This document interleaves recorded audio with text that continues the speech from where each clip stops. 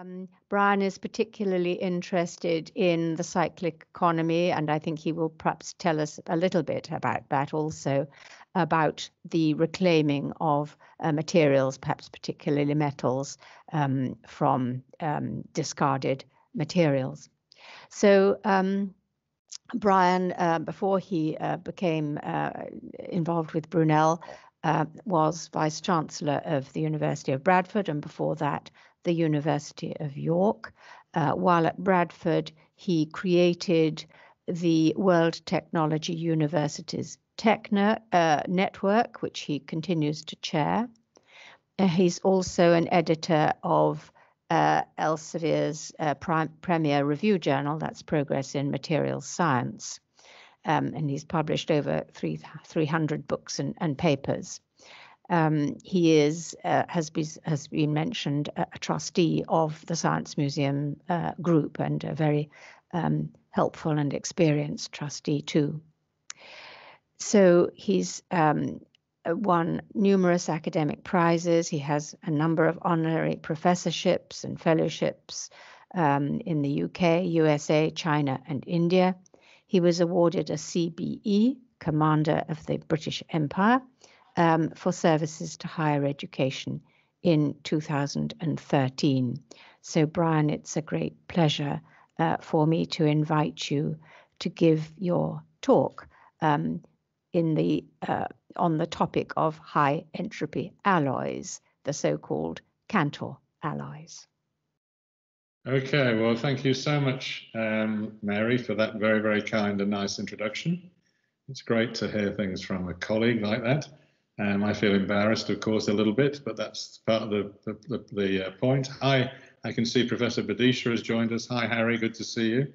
I'm just about to start. And let me just thank uh, Fabio Miani, Professor Miani, also for inviting me to give this talk. It's a great pleasure to do so. And I'm sorry. Right. So, um, well, welcome to everybody to this lecture. Sorry about the starting difficulties.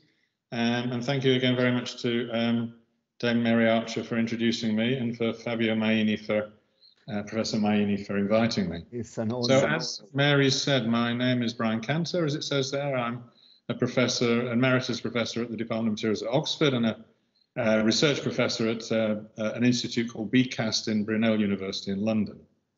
Um, I'm going to talk about multi-component high entropy alloys and one uh, particular group of those which are called Cantor alloys, named after me, as uh, Dame Mary has already said. Um, and I've got three messages I want you to uh, take home. The first one is that human history is the history of the development of new materials. All human developments have been driven by the development of new materials. That's not widely known, but it's very important. Second thing is that all materials that we use are alloys.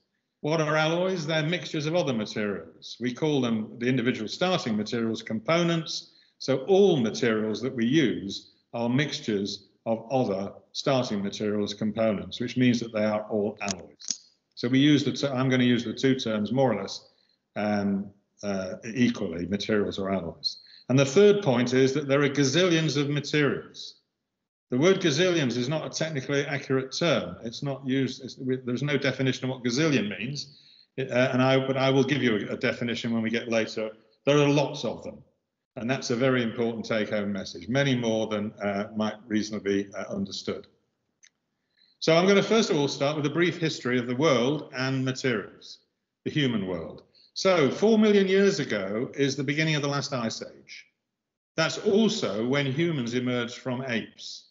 We evolved from apes, almost the same time.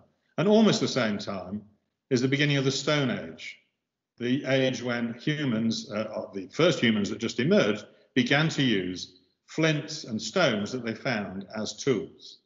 These things are all linked.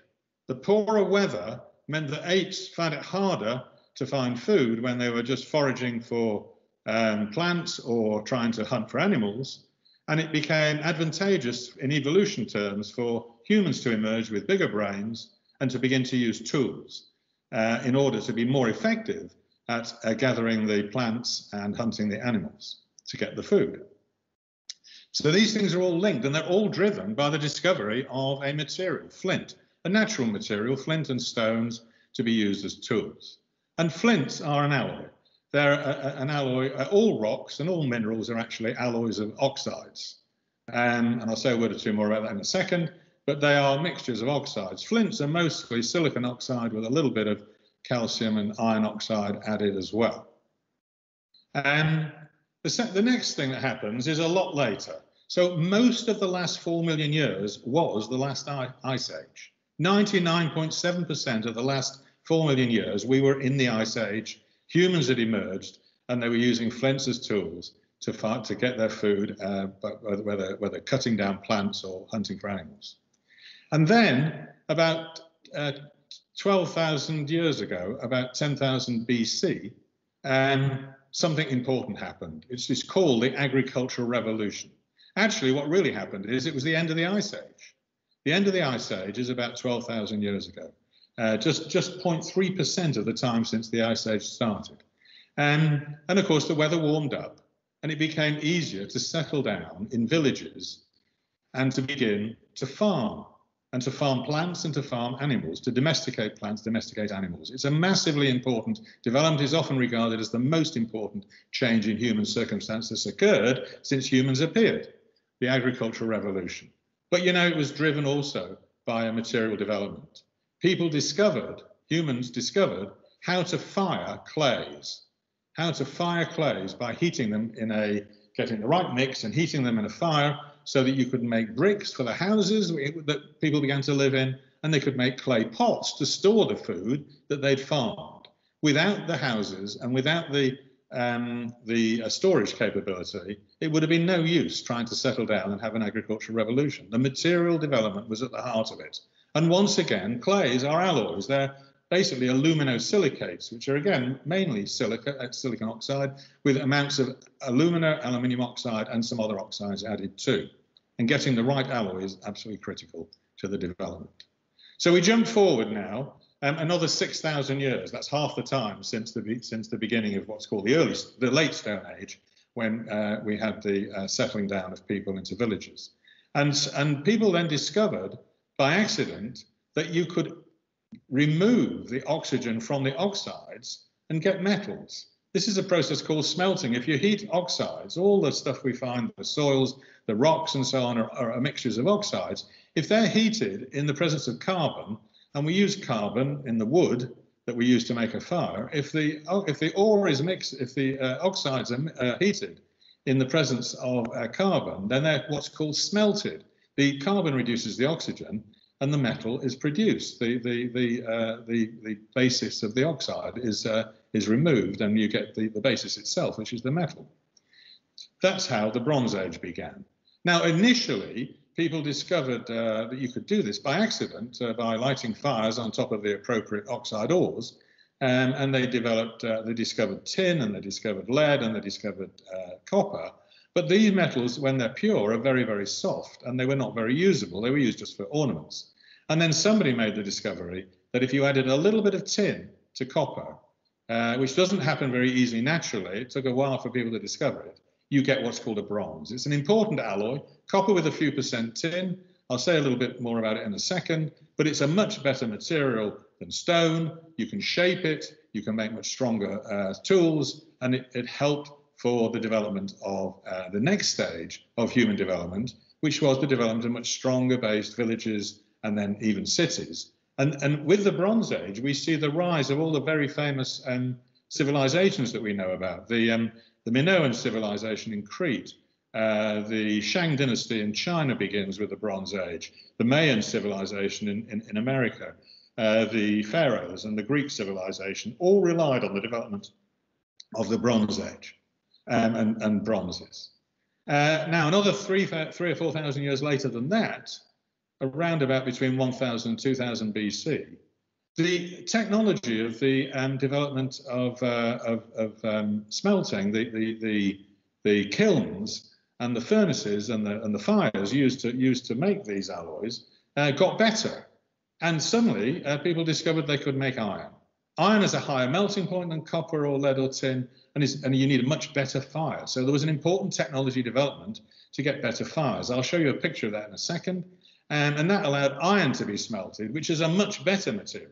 And iron absorbs, unlike copper, it absorbs a little bit of the carbon from the wood and that's doing the smelting, but it absorbs a little bit and it makes it into what's called an iron, wrought iron and cast iron, and we then have the Iron Age. That led to the fall of all of those famous civilizations and the rising of new civilizations which were able to make use of these irons. That's when the Roman era begins. It's when other, uh, it's when it's when China itself emerges from the initial dynasties. There's a whole series of changes in in in which dynasties are important all linked to the development of an important alloy, iron, wrought iron and cast iron. We jump forward to the 17th and 18th century, which is the Industrial Revolution. Now, by a peculiar quirk of uh, history, irons are alloys of iron with about 1, 2, or 3% of carbon. Steels are actually pure iron, just by a bit of irony, uh, to use uh, uh, uh another word, it's a pun. And so steels are iron with less carbon in them. They have about 0.1, 0.2, 0.3%, or uh, maybe point something percent carbon, just a fraction of a percent of carbon. And the ability to, to manufacture steels was not really discovered until, and that, that's what until the uh, late seventh, uh, late uh, mid 18th and uh, through into the 19th century, and that's what actually drove the uh, Industrial Revolution. So the Industrial Revolution begins with the scientific revolution, of course, in the 15th, 16th, and 17th centuries, which started in Italy uh, with uh, people like uh, Leonardo and Galileo. And of course, Britain was very important with the philosophy of Bacon and then later the, uh, you know, New, the Newtonian um, uh, mechanics um, and the Copernican revolution.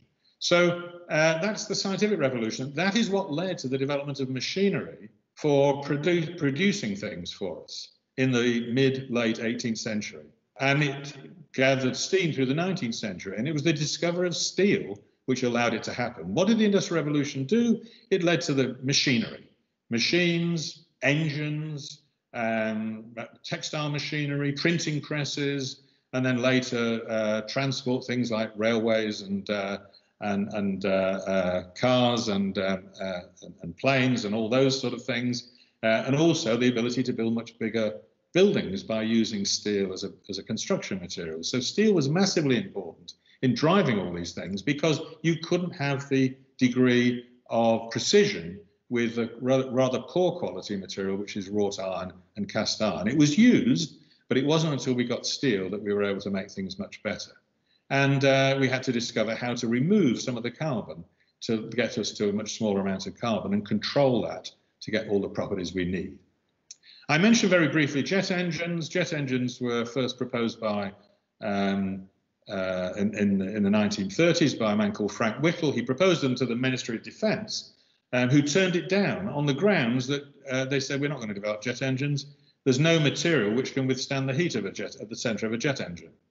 But uh, again, another irony, um, the International Nickel Company that very year patented, this very same year that, that it was turned down, the idea, patented nickel alloys, which later are known as nickel superalloys, which are nickel with a little bit of aluminium and titanium to give them strength, and nickel itself provides the high temperature. Important alloys, which, but so because of that though, because of the turning down, jet engines didn't really uh, get going for aeroplanes until the 50s, 1950s and 1960s. And of course, we finish with the, the, the second most important revolution in human affairs after the agricultural revolution was the industrial revolution, of the 18th and 19th century. And the third most important, maybe the most important in the end, because we're still in it, is the information revolution. And that is, of course, based on silicon chips. And silicon is a semiconductor discovered, its important discoveries were made in the 1950s and 60s. If you dope it, and doping is just alloying, microalloying with small amounts of phosphorus or boron or nitrogen or aluminium or uh, other, some other things, you get these wonderful electrical behavior, which is so controllable that we get all the wonderful computers, telecommunications, uh, and the internet and everything else that we're so familiar with, all based on the discovery of how to make these very, very finely controlled silicon alloys. So I'm hoping I've persuaded you with all of that, that the history of humans is all based around the development of important new materials. I'll just show you some quick pictures, just to put a bit of substance to all of that. And there's a flint uh, chopping tool from about 2 million years ago, a very early tool. The earliest was the Oldowan type. Um, and a bronze dagger from about 2000, uh, 1500 BC from Cyprus. It's oxidized, so it's green. This is the, a copper smelting hearth on the left. and you can see it's just really a, a, like a fire, like a campfire almost. But this was used to smelt copper, um, putting copper ore into that. As the fires got better and we put chimneys on the fire, as shown in this, uh, this very nice um, uh, picture uh, uh, uh painted on a, um, on a pot from Greece, you can see this, this, is, this is how they began to get better quality fires. And, and this is what led to hotter temperatures and allowed iron and wrought iron to be made. You can see a blacksmith here pulling out of the fire some rather poor quality wrought iron. And he's going to hammer to make it a little bit better. In the Industrial Revolution, we have steels.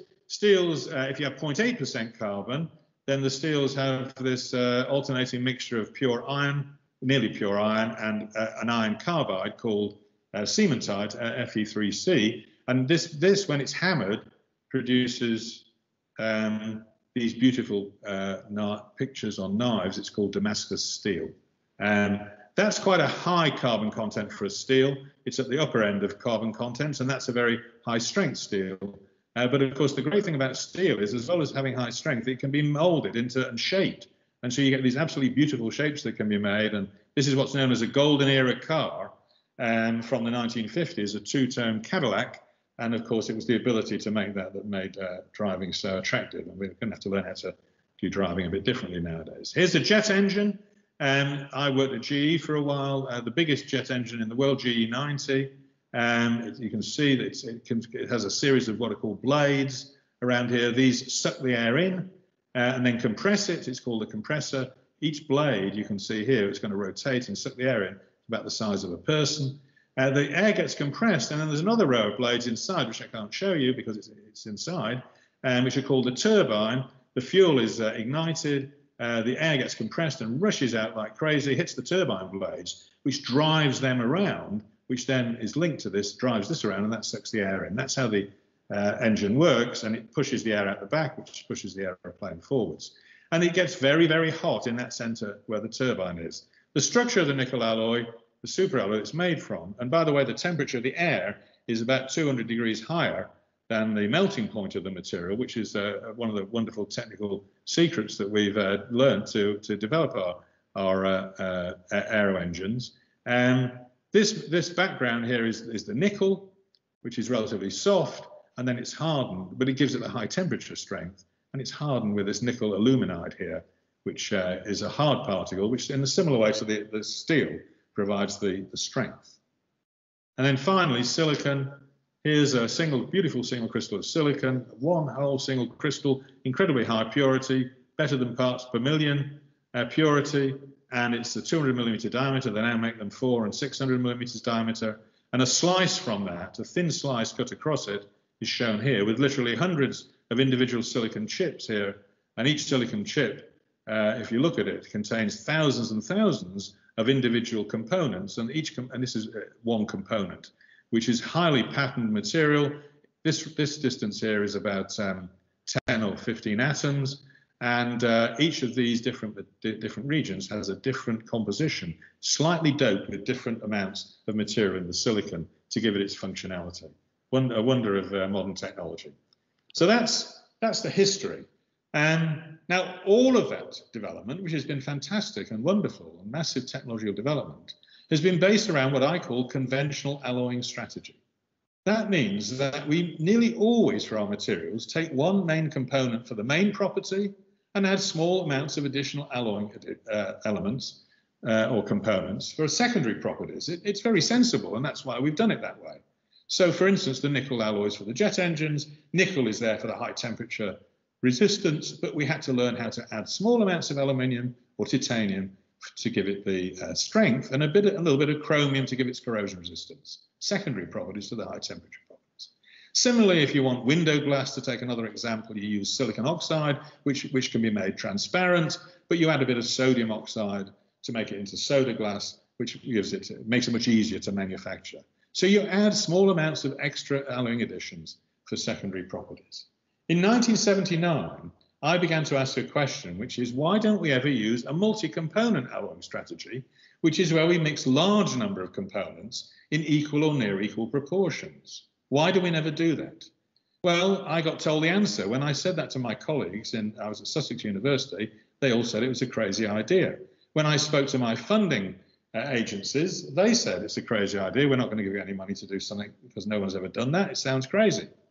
When I asked students to work on it, they said, well, we don't want to work on that. Nobody else is doing it. We want to work on some of the hot topics of the day. This was back in the late 70s, early 80s. So that's why we'd never done it. Everyone thought it was crazy. But after working quite hard, well, let me just explain what I mean a little bit more about the idea. So if we want to think about a three component alloy, three component material, we, we depict that on a triangle. And we can think of it as the component A, component B, and component C at the corners of the triangle. It might be nickel here, with adding mixtures of aluminium to give strength and chromium to give corrosion resistance. Well, we add a bit of aluminium, so we move along this. Uh, each point in this triangle represents a different composition. If we add a bit of aluminium, we move along this line. If we add a bit of chromium, we move along this line. If we add a bit of both, we move into this region. All of our materials and alloys, because of this normal alloying strategy, which is was never announced, enunciated, but just used, all of our alloys tend to be at the corners of a diagram like this. All our three component systems are usually at the corners and not right in the middle, the near equiatomic compositions. And if we go to four component systems with a, with a quaternary system, as depicted in a tetrahedron, it's even less likely that we know anything in the middle of this, what's called a phase diagram. If we go to five and six components, we know almost nothing about them. Well, we've begun to learn it just recently. That's the basic idea. So I finally persuaded a young man. His name's down here. It's, it's underneath my uh, my little picture of myself, but so uh, I can't quite get it. But it's uh, Alan Vincent. His name is Vincent. I persuaded finally a young student, undergraduate student, to do an undergraduate project on this topic. Well, we didn't know quite what to do. We had the idea, but we didn't know quite how to explore this enormous region of unexplored space. You'll see how big it is in a minute. But we thought, well, let's just make up two or three alloys. So we made up two or three, and this is one. And I show you this one because until very recently, this was the world record in the number of components added in an alloy. This is 20 components with 5% each. And uh, we made that material up, and uh, it, the truth is, it was a mess. And we, this is the microstructure of it in a microscope, and it consists of lots of different crystals in a big jumble. Not, and perhaps you might say, very interesting. However, we discovered very quickly that it was indeed interesting because this background back, uh, black area is what's called now called the Cantor alloy. We discovered that one of the crystals in this material, one of the crystalline regions, consisted of five components chromium, iron, nickel, cobalt, and manganese in equal proportions in a single phase structure, and it's called a Cantor alloy. So here is the structure. Let me explain it. The Cantor alloy is five components, these five components in equal proportions. That's 20% of each, a fifth of each. And they exist in a single phase face-centered cubic structure. This is a face-centered cubic structure. It's got an atom at each of the corners of the uh, cube, and it's got an atom at each face center. And if you have, and you can imagine the, these the, these uh, cubes stacked up in three dimensions to produce a, a, a physical-sized crystal. But if you have pure copper, which is face-centered cubic, it, every atom it's like this, and every atom is copper. If you have pure nickel, it's like this, and every atom is nickel. And if you add a little bit of aluminium to nickel, which I already mentioned, you can add maybe you know uh, just a little bit, and the uh, not the not the amount we add for the alloy, um, in, in the alloys we use in jet engines, but a little bit will what's called dissolve into this face-centered cubic structure. What that means is up to say, let's say 1% could dissolve. It's actually a little bit less than that. But if 1% could dissolve, then one in 100 of these atoms at random would be an aluminium atom. And that's called a solid solution. It would be a single phase solution of, of nickel with a very with a smidgen of aluminium atoms added.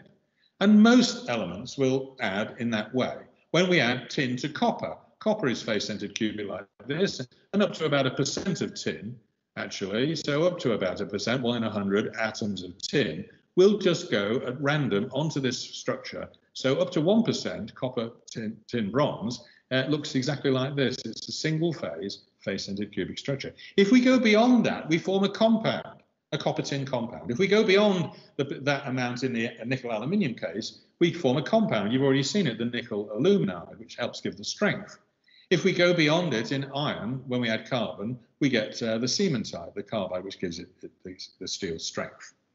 Nobody would have pre predicted that you could, nobody did predict, if you added five components like that, they would all dissolve into a single phase structure with that structure. What does it mean? It means that um, there, are, there are a fifth of the atoms, a chromium, a fifth of manganese, fifth iron, fifth cobalt, fifth nickel, and they're all distributed on this structure at random. So, the, you know, these are these these at random. A fifth of them are each of those different elements. Nobody would have predicted that. Nobody did predict it.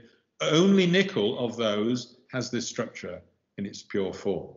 So it was a complete surprise. And it turns out that this material has incredible properties. Now, it's not just one Cantor alloy, it's literally hundreds of thousands of Cantor alloys. It's not just one because you can add other components into it and make uh, the, the, the, alloy range is enormous that you can have, which has this single face, phase, face-centered cubic structure. In the middle of that five component phase space, the tetrahedron or the, the next stage up, because it's got to be five components, in the middle there's an enormous patch of region which has a face-centered cubic structure like this, which nobody predicted. And people are now beginning to look at the properties and they've discovered that they've got great properties.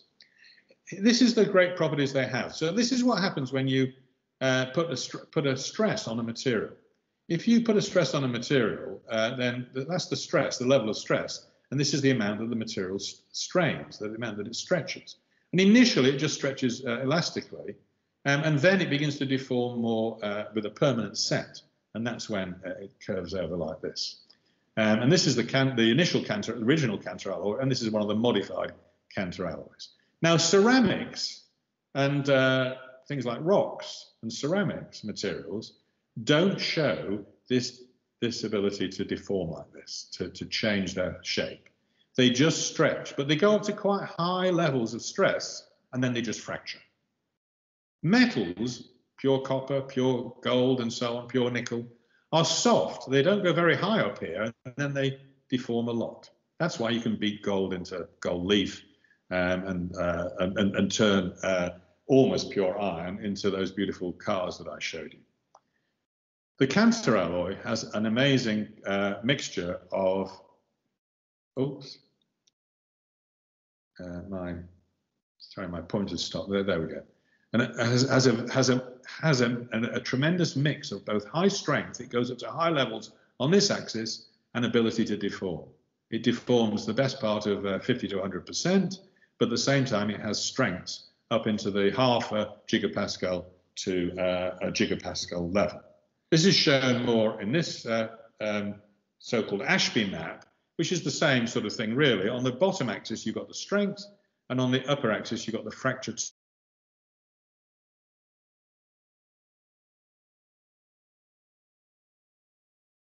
a crack mm-hmm. from from propagating.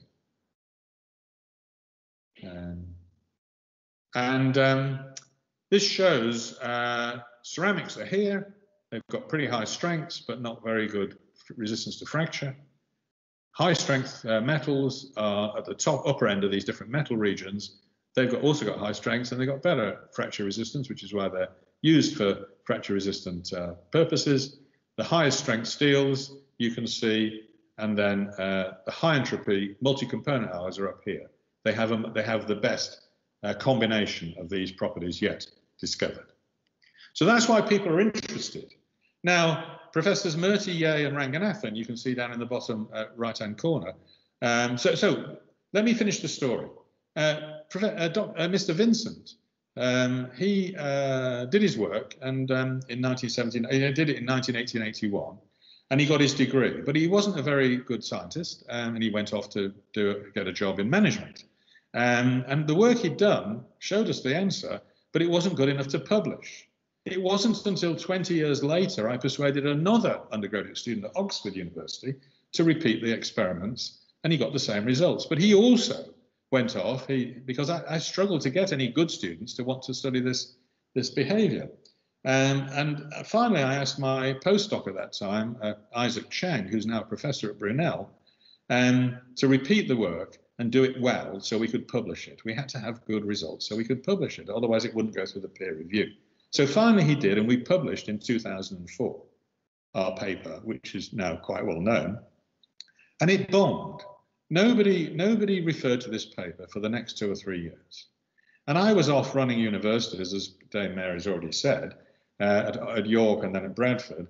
Um, and uh, I was surprised to discover uh, around about 2010, 2010, 2011, that people were beginning to work on it. They'd finally picked up on it, mainly because of a, a, a Professor Yeh, one of the three people that produced the book I just mentioned, um, Murty Yeh and Ranganathan down in the bottom right hand corner there. So Jien-Wei Yeh in Taiwan began to study the same thing and it began to get known and it began to take off in 2010.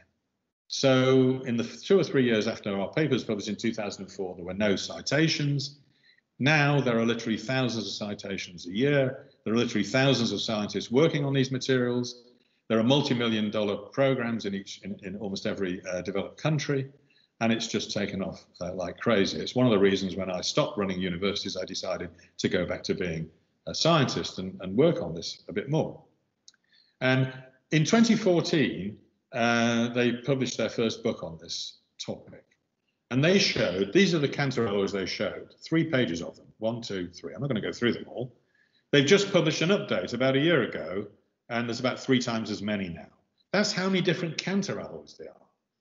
Dan Miracle, who is a, a, a Dr. Dan Dr. Miracle, who is the head of U.S. Army research in uh, uh, in Ohio, the Army labs in Ohio, um, sorry, Air Force labs in Ohio, said um, uh, published a review recently which said that that this multi-component approach has already led to eight new categories of materials. The Cantor alloys are just one of those new categories. There are literally hundreds and hundreds of thousands, probably millions of Cantor alloys. And there are eight other categories with similarly with hundreds of thousands and millions yet to be explored materials of potential interest. And there are almost certainly lots of other exciting new categories of materials to be found. As, as Dr. Miracle said, we've only just scratched the surface, but we are finding an amazing array of new materials. So let's work out how many materials there are.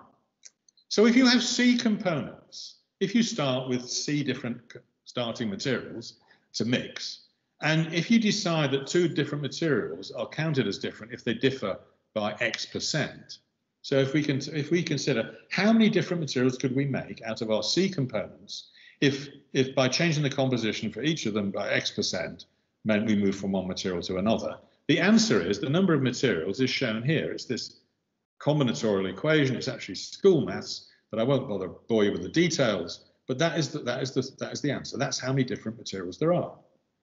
Well, how many components can we use? Well, there's 120 elements or thereabouts, but a lot of those are toxic or radioactive.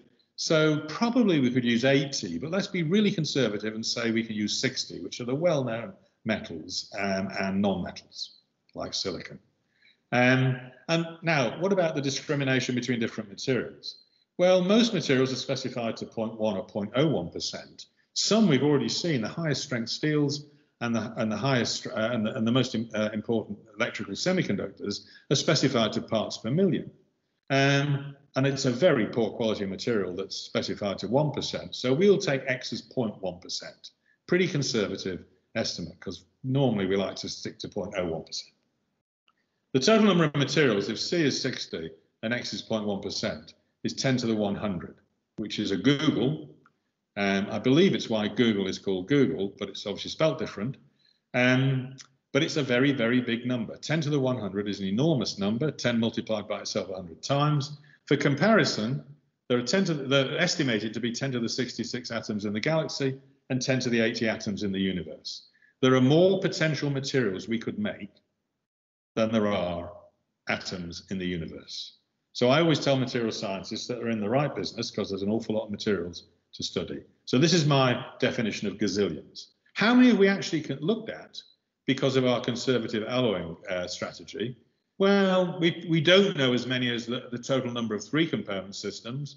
We don't know all the three component systems, and we know very few beyond three components. So I estimate that this is the number of three component systems that there are, about, about a trillion. So we've discovered a tiny fraction, and we're beginning now to explore this vast, vast array of multi-component phase space, multi-component material space.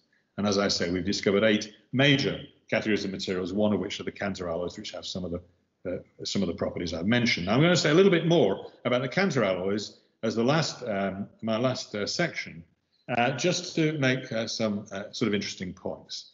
So if we think about, so this is just the Cantor alloys now, not those other um, potential multi-component systems. So this is a this is a, uh, a depiction of what a five-component system might look like, or a ten-component system. They're not uh, very accurate because, um, for reasons that you'll see, uh, but most notably, first of all, they're not on a real crystal structure. This is just a square lattice, and this is another the same thing as square lattice. But it just it gives you the important idea. The important idea is this: if if every atom in the, in the lattice is copper, then then the, then the environment in at every place is the same. That's the characteristic of a crystal. If every atom is if every molecule is silicon oxide, then the environment in quartz is the same at every point in the crystal. If the environment is, uh, you know, if you take nickel, then every atom is nickel. So the environment, the local structure, the local properties are the same everywhere. In the Cantor alloy, that just isn't true. So not only is it because we've got five components, that makes things a bit more complicated, but if you look, each A, each, each A component is surrounded by, because it's at random, is surrounded by a different structure of nearby atoms. And if you want to work out how many there are in a face-centered cubic structure, like the Cantor, the original Cantor alloy, with five components, it turns out there are 20 trillion different local environments. So instead of having uh, FC face-centered cubic copper, where every single local copper atom is exactly equivalent to not every other one, we now have a material where there are 20 trillion different local environments. And if we add another component, it goes up to about 300 million. And if we take into account not just the nearest neighbours, which are sometimes are important to the properties, it goes up to uh, literally enormous numbers. So I won't, I won't uh, go through the calculation, but you can see that the, the, the properties of the material are incredibly variable from one point to another inside the material. This leads to a load of important and interesting properties. I'm going to show you two. So the, uh, let me first of all just, just put a bit of flesh on the bones of that. These are the, the first five elements here are the five elements of the Cantor alloy. I won't, we won't talk about the other two. Uh, their radii are given there, called so-called Goldschmidt radii. The rough size difference between them is three picometers. It's about two to two and a half percent is the difference in size between the different places. So what that means is that there's about a 2% strain stretch in the lattice locally. That, that, that's quite high forces locally. 2% strain in a material leads to quite high forces. So the lattice not only has all sorts of different environments, it's got different uh, stretches and distortions inside it. This is proved here by some synchrotron X-ray diffraction experiments which show, came up with the answer 4.8 picometers size variations in the material, and neutron diffraction experiments which showed 2 picometers. So roughly it's in agreement with what we would calculate by a rather naive calculation I've just given you. Well, this leads to two important property effects, uh, at least to many others, but I'm going to show you two.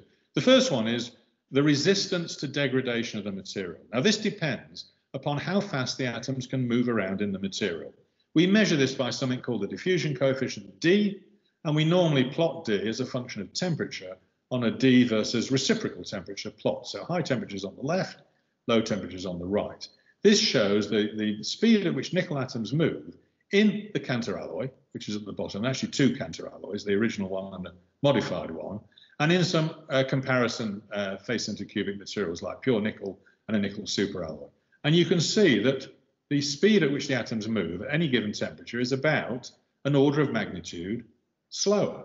So the atoms move more slowly. It's not surprising. The lattice is incredibly variable and incredibly distorted so if atoms are going to move around, they've got to push their way through a much more complicated set of environments, and they find it very difficult to do it. So that means that they're very resistant to degradation as a material, whether they're exposed to high temperature, or they're exposed to corrosion, or they're exposed to radiation damage. And the, and the Cantor alloys are being looked at actively as temperature resistant, radiation resistant, and uh, corrosion resistant materials for just that reason. Now, I've already mentioned the strength and the ductility or the fracture resistance, which is related to the ductility, the ability for the material to deform. And this, this depends on things, lines like this black line here, which are called dislocations, which are a defect in the crystal. So if you have a face-centered cubic crystal, as I've shown you, there will be lines of defects. And the reason you get the deformation behavior, the reason that metals can uh, be plastic, the reason they can uh, resist fracture, is because under enough stress, these dislocations be, begin to move. But the stress isn't very high, which is why they're not very strong. And you have to try and strengthen them. Well, in the case of the Cantor alloy, every single atom is resisting the motion of these defects, just like it resisted the individual atoms themselves moving. That is why, although they're still very, very enormous, got enormous amounts of ability to resist fracture and, and be uh, deformed very easily, it's why they nevertheless have very high strength because the dislocations are very hard to move. The theory for this is given in this equation, which I won't bore you with um, in any detail, but that is the theory of what those in all those atoms should show. It's taken a while for us to get to the point where we could have a good theory of it. And um, this shows the comparison between the experiment black and the theory red for uh, the Cantor alloy itself and for a modified, slightly reduced uh, Cantor alloy here. So you can see that that explanation in broad terms gives good results. So because of that, the Cantor alloys are being studied. They've already been demonstrated to have outstanding cryogenic properties at low temperatures. They're being studied for high temperature materials. They're being studied as corrosion resistant and radiation damage resistant materials. Some of the other multi-component systems, not Cantor alloys, are being studied to try and find new materials. Things like solar energy conversion, things like high temperature superconductors, all the wonderful new materials which we have discovered uh, already, people are looking for improving them and finding ones with new functionalities in, in this amazingly broad range, this vast array of multi-component material space. And Dame Mary mentioned that I've recently, uh, with my colleagues at, at uh, Brunel, won a major um, UK uh, government research grant to use the same uh, materials to look at recycling. The problem with recycling at the moment, uh, you know, metals uh, contribute, and metal-based products contribute about 12 to 15% of all greenhouse gases and all um, pollution and all use of energy. Uh, metals are pretty well recycled. About 50% of all metals are recycled, but we don't recycle them very well. And the reason, and 50% of them aren't recycled, and the ones that are recycled aren't recycled well in the sense that they're taken back to the smelter, usually. We treat them as if they were just all we dug up from the ground, and we go back and we make new pure metals, and then we uh, realloy them.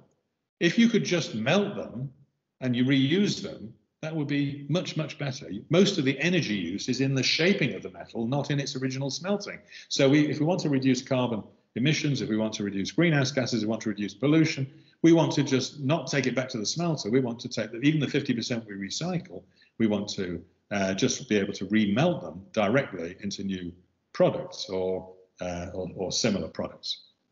But to do that, we've got refined, specialized materials and alloys for every single thing we use. So the problem is with, with recycling is is sorting out all the different alloys, which are so highly specialized and contain so many different components. So the idea, so what we believe is that if we can have, find alloys which have got lots of components in them, then they'll be perfectly capable of absorbing other components. And there's some evidence that that's the case. So that's recycling. Now I'm going to finish with, with three slides, which I discovered quite by accident because um, when I was Vice Chancellor at the University of, of York. Um, and I had a, a head of a, the chemistry department, a man called Paul Walton, a very able chemist uh, who studied metals in the body. And he used to give wonderful, he was a wonderful lecturer, and he gave great lectures to school children and used to go around. He was very much in demand.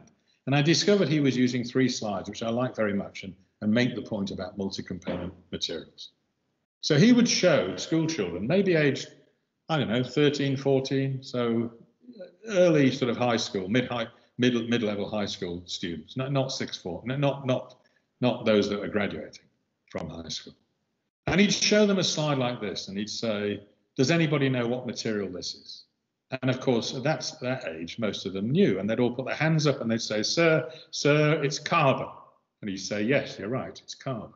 Then he'd show them this picture, this this uh, slide, and he'd say, "Here's a here's a harder one."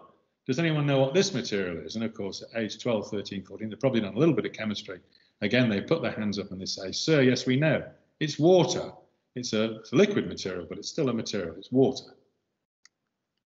Then he'd show them this one and say, So what do you think this is? And I've given the game away for you. He didn't, because they wouldn't know. It's the secret of life. This is the composition of the human body. Your body, my body, everybody's body. It's the same. Actually, I think it's the same for all mammals.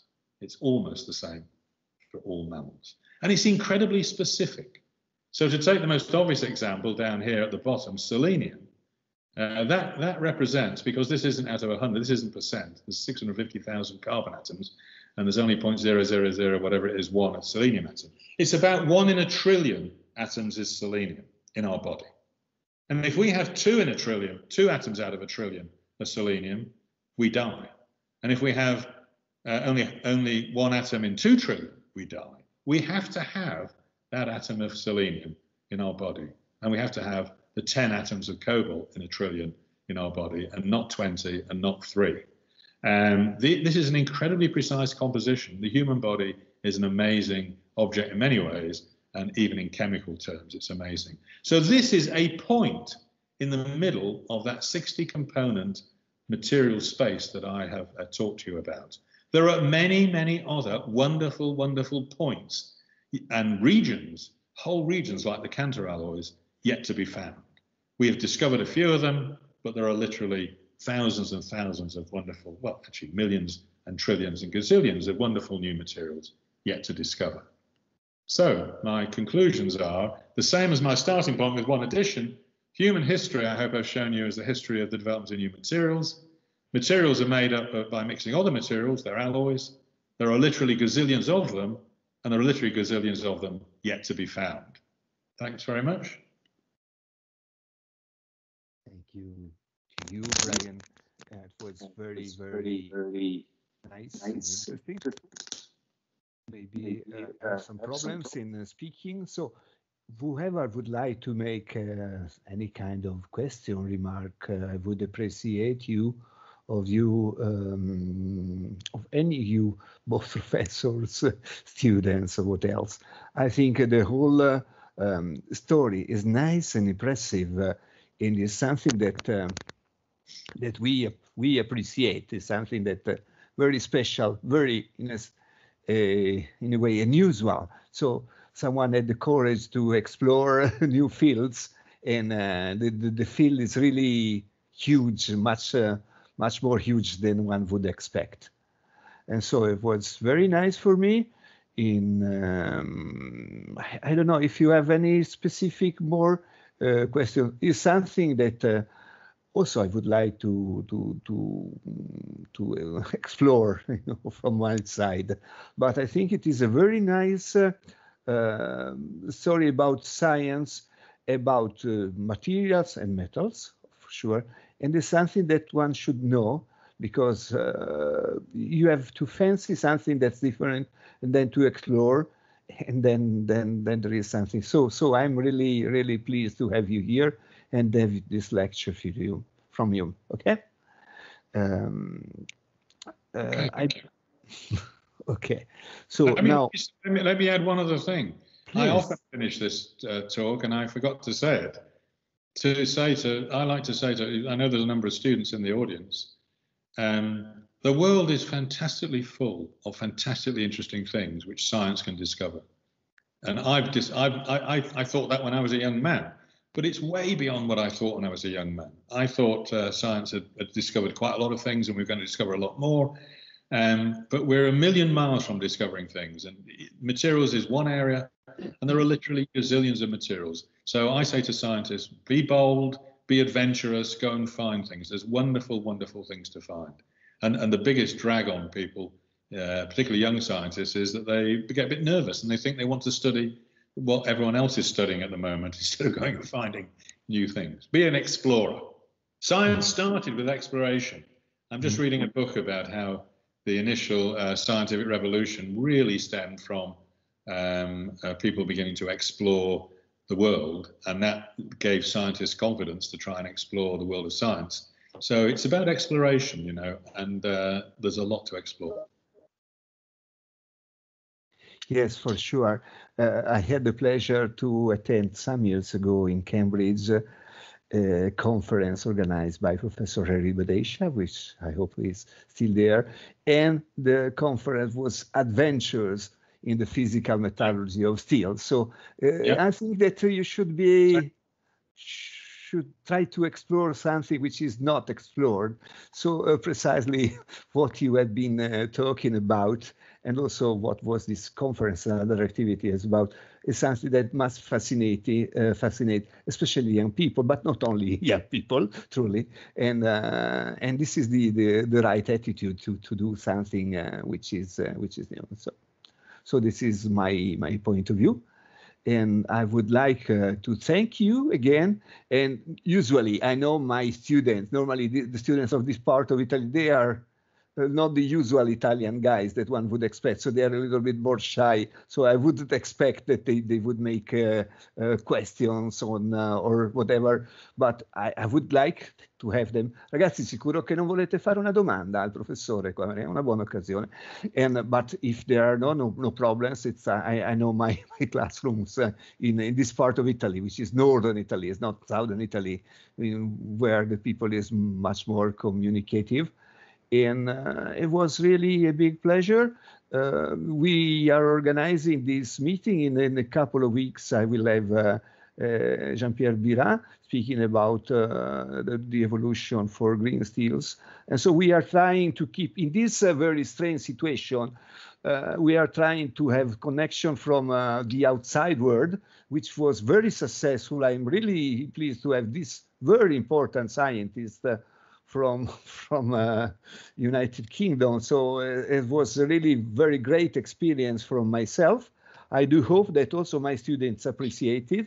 Uh, I would also like to thank also my friend Jeremy Paul, who is also a professor who has joined us. And uh, for the for the moment, Harry, would you like to say a word more? More, if if you, yeah, I would be so pleased. Please, Harry. Yeah. So, um, Brian, thank you very, very much, and also Professor Miani. Um, there are two things. First of all, I know that this is being recorded, and I would like, uh, if possible, I would like a copy of the video to put on my YouTube channel, which is. Uh, would, would be very nice. Your YouTube uh, channel is fantastic, and it's for for students and professors and of any age, and it's it's very very useful uh, so uh, we will try to to have it, and then for sure I will send to you if you agree. Of of course, Professor Cantor as well uh, would be very nice uh, for if if you so we can expand even to more people. You, YouTube is sometimes difficult, but sometimes it gives very very very good things. Uh, I have been using a lot unfortunately he's not us any longer with us. Uh, the, the lesson of Professor Bruno de Cooman to, to diffuse it for, to my students. So from your own uh, channel. And uh, I think that, uh, and, and, so this is a kind way of remembering him. And so I think you have plenty of uh, useful materials, Professor Bhadeshia, to, to give uh, with the with the generous spirit to to everyone in the world, not only students in Europe but students all over the world. And I thought I think that also once more uh, to have this uh, clear situation about uh, uh this uh, your lesson, Professor uh, Cantor, is easy to grasp even not, by not specialists. So so this is the right. point to start to to infuse enthusiasm, to infuse interest in especially in, in, young people, in students. So, so it has been a very, very nice experience. Okay. The, the second. Uh, uh just say, Harry. Let me just say, of course, in principle, in principle, I'm very happy with it. I just hope I wasn't too stuttering at times. But um, in Not principle, I'm very happy, of course. And uh, uh, but Brian, Brian, I'm very. I'm, in fact, I'm pleased that you you want to do it. It's very yeah, kind. Let me ask you a provocative question. Go on. Uh, so, you know, these days we have huge amounts of money for research and, and so on. And even if you look at Dan's uh, review, it's full of promises, promises. We haven't actually got to a stage in high entropy alloys where people are looking at scaling up and looking at a particular application. And I think that's where the focus needs to be. And maybe your project at Brunel is, is about this But well, yeah, that's a very good point. There is uh, only one application so far, which is on making a brazing alloy. Yeah. No, it's a very good point, uh, and uh, I the the the. In my experience, uh, you may have different experience, but I've I've worked on um, a whole a variety of different areas, not not just this area, of course, where new materials are being developed. And it's often said that the time it takes for a new material to actually end up being implemented, that's one new material. And I think there are many new materials being looked at in this multi-component phase space. But for one new material, one new idea, it typically takes 20 to 30 years before a real application uh, is, is, is used. And even which is the best application isn't normally known. In fact, it normally takes a couple of economic cycles, uh, a couple of cycles of excitement of uh, studying things, because people go off and study lots of things and find lots of things, but don't quite get it right, and they need sometimes to have a pause and then come back renewed with uh, fresh ideas before they can make it happen. So you're right, it's not it's not happening immediately, um, but you know the multi-million pound programs have only started in the last few years, so it's still I would say early days. Uh, most of the work has been on Cantor alloys, and it'd be interesting to see whether something does transpire from that. But there are other alloys uh, and other materials being looked at too. Um, the, the, way I, the way I always think about it is this: um, we've just had the most wonderful success for science ever. I, I, thought the, the coronavirus problem was going to bring scientists into disrepute because we had a lot of people predicting how the uh, how the epidemic would, would would roll out, and of course that's an incredibly difficult part of science, uh, epidemiology, uh, which is full of lots of uh, uh, mis- lack of understanding. So it, it was initially uh, wrong predictions were being made, and it looked like science was might be getting a bad name. But the, the development of the vaccines has been an absolute triumph, and it's brilliant. And and what it shows is that if you put if we put money into something to discover a new material, we will discover a new material. And the reason we will do it is, is because there really are materials out there. Um, and the reason there are materials out there, I now that, know that and understand it, is because multi-component phase space, multi-component material space is just so incredibly large. But you know, so you're missing my point, Brian. You're missing my point. Yeah. I think that there is enough money, but people are not focusing on the right problem in high entropy alloys, which is actually yeah. to scale up and to look at an application because once you look at an application, you have to satisfy more than just one property. And the vast majority of high entropy alloy papers focus on just one or two properties, whereas you need a combination of properties to actually produce uh, a component. And that actually is very challenging for research. So it's not something taking away from basic research, but if you focus on a bank of properties that's needed for a particular component, then you do remarkably interesting research. Yeah, but I think you're missing. I, you, I was not really dealing with that. I agree. So in that sense, I was missing your point, but I wasn't really missing it because I was really trying to make a, a different point in counter. So the point I want to make is this. Um, when I was vice chancellor at Bradford and at York, and when I was head of science at Oxford, I got invited to a lot of policy um, meetings, which most people now I'm back at being a working scientist, I don't go to those things. So, and and I there was a regular question at the big policy events, the things that in, that involve chief scientists and uh, chief technologists in companies and uh, and ministers of science, and you know the big. Uh, I went to a number of these uh, regularly to a number of these sort of uh, uh, conferences and meetings, and one of the regular questions that comes up is, are we running out of materials?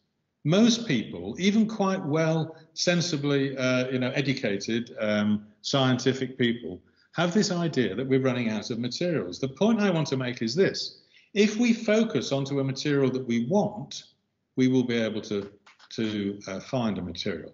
Now, in the past, we did that in, relatively tentatively when we did it. I'm t- the p- whole point about multi-component phase space. It's not really answering your point. I agree, but it's a it's a counterpoint which, which says that we should think tangentially to that point. The point is that we've expanded our capability for thinking about where we might look for new materials. So if we have a material need, then we've got a much bigger patch we can look for. And people were being very, people have been very tentative when they look to improve high temperature superconductors or they look to improve solar energy materials. They start with the ones we know and try and tweak them up rather than looking for more innovative solutions. And what I'm saying is that the real payoff in multi-component phase space will come with that. But I agree with you completely that once you've decided on a particular material for a particular a particular kind of material for a particular application, getting it to the point of application is incredibly challenging. Most of my scientific career was working on applied uh, materials, and uh, that I, I, I, love the fact that you had to uh, meet lots and lots of different complicated spe specifications and requirements, and that is very very challenging. Yes, of course, and um, I'm not I'm not saying that Cantor alloys are uh, solving the, all the problems in the world. I agree. Thank you very much. Thank you very much for a fascinating talk. Okay. Yeah, thanks for your comments, Eric. Yeah. So I have a final uh, question, which is, of course, uh, I, I, believe that uh, not necessarily by myself, something you know related to the CALPHAD development of uh, of uh, Cantor alloys could be done quite simply because in my, uh, would say, naive uh, way, I have developed some uh, open databases, for instance, for copper alloys. Yeah. I don't think it would be that difficult, maybe someone more expert than I am, to grasp, to pick up, because after all, you have to model a liquid phase, you have to, to develop an FCC phase, and so the, the interactions, and so at least for five, six, or even even even more but it should be not impossible at all from a practical point of view if you use it open. So I am fond of CALPHAD as long as you can use with open databases. I'm not the one expert, but I can grasp and pick up and collect uh, other databases. So once you have the, the, the data, maybe you can uh, develop things. It could be useful, for instance, for study if you have to, to process some alloys to have ideas of the of the liquidus, of the solid, uh, let's say, uh, room temperature properties, of course, it wouldn't tell the truth because the, the truth it is the the experiment is not uh, the modeling but uh, for, for this issue. But i think it could help. So maybe it would be nice in the future to pick up some uh, guys working with the CALPHAD, possibly uh, enough professional but not too much linked to, to the commercial world.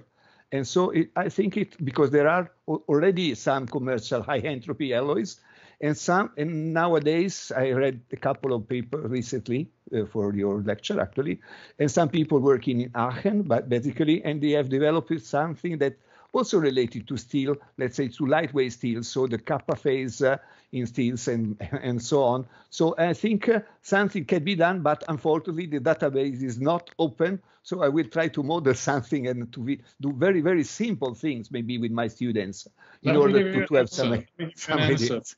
Let me give you an answer, Professor. Please. Right. And like many questions, uh, the answer is yes and no.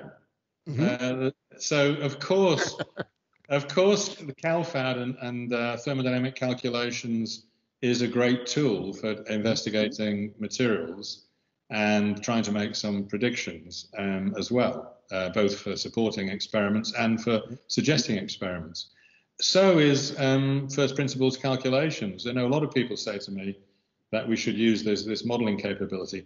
So in, in one sense, the answer is of course, of course, and people are doing it. People are using CALPHAD uh, type calculations, and they're developing uh, new methods, you know, based on big data type calculations as well. So uh, to take existing data and try and make predictions, to try and find patterns in what's already been discovered, to to to, to give uh, you know new new grooves as to how one could mm-hmm. begin to explore this in massive massive amount of space. Mm-hmm. But there's a problem. There is a problem, and it's a very central problem, which I think is is unsolvable and it's why exploration is so, so important. It's why people didn't understand about mechanics until they started exploring and believing that it was worth even trying to do it. Um, so let me explain the problem very quickly. Um, our knowledge of materials is all based, not quite now because of the development of this field, but still almost all based upon individual components with one or two additions.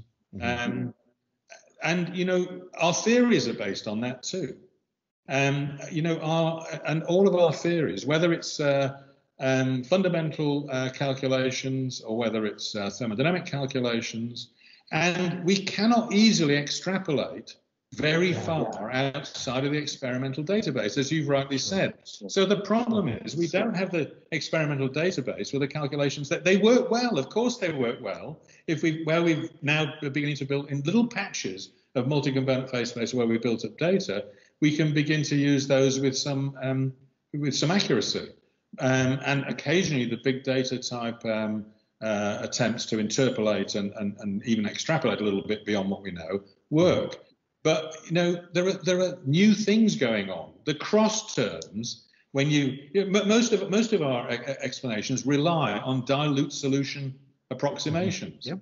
Um, and and dilute solution approximations don't work. There are what you, you call cross terms, where the effect of one solute uh, or one alloying element uh, on another alloying element gives you uh, you know non-linear um, behavior and gives you uh, means you can't just add up the effects of those two. So unless you've done the experiments, the databases yeah. aren't, aren't right. So, you know, the truth is we have to kind of do a bit of both. It's like most science. The more I think about science, I realize that, you know, I, I, am an experimental scientist. I tend to often to say the, exper- the theoreticians get too much, too much uh, kudos and the experimentalists don't get enough.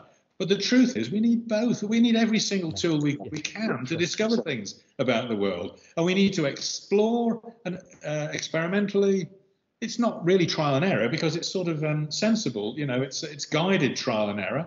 And we also need uh, to use our theories to give, to give indications. And it's when the two begin to cohere and work well that we really make progress. So, yes, by all means do it, but it, it, it's not actually the solution to what's out there in this vast sea of, of, of unknowns. Sure. Sure. So anyway, let me just say thank you very much for inviting me. Yeah, to you. It was great for me. It was great for this small town having you from and you you estimated professors, and it was very very very important experience for me. All the best, and so all you. the best also to my students and uh, stay safe this difficult moment, and all the best. Bye. Bye. Bye. Thank you. Bye.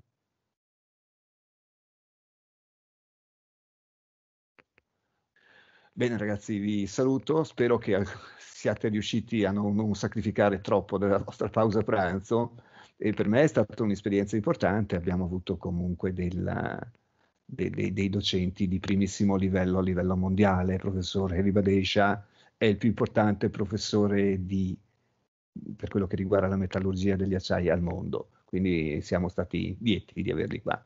Vi auguro buona giornata e vi ringrazio per la partecipazione. Eh, arrivederci. Arrivederci. Grazie, arrivederci. arrivederci. Grazie per aver seguito.